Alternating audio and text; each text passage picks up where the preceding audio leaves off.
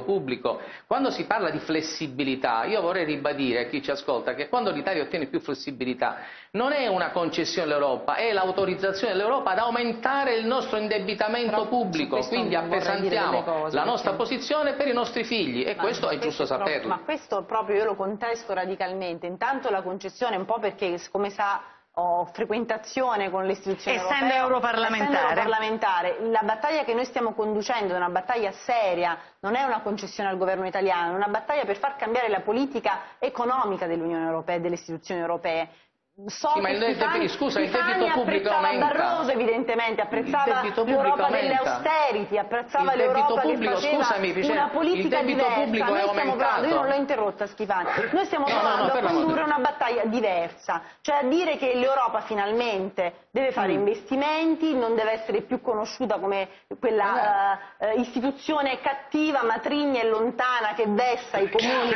e i cittadini europei che qui, e su questo stiamo conducendo una battaglia seria che, ripeto, non è una concessione al governo italiano, è una richiesta di inversione della Ma... politica fiscale che viene fatta. Però ci terrei, visto che sono state dette tante cose, anche a inserire un, un elemento diciamo, di riflessione per tutti. Qua discutiamo di sanità no? e di diritto alla salute, che è un diritto peraltro che viene sancito sì. anche dalla nostra Costituzione. Allora vorrei ricordare che la sanità è stata diciamo, regionalizzata, bene, e questo elemento è un elemento di cui si discute troppo poco eh, e su cui si interviene per esempio con il nuovo referendum. Io vorrei che questo diventasse per esempio un elemento di dibattito serio, cioè il diritto alla salute è un diritto si direbbe, o così dovrebbe essere, universale, cioè garantito a tutti i cittadini senza sì. alcuna distinzione. E lei di... pensa che tornando in capo al, allo Stato questo migliora? Sì, perché che cosa si sancisce per la prima volta? Se passa questa riforma il 4 di dicembre, sì. verrà stabilito che questa eh, funzione ritorna diciamo, in capo allo Stato, la tutela della salute, cioè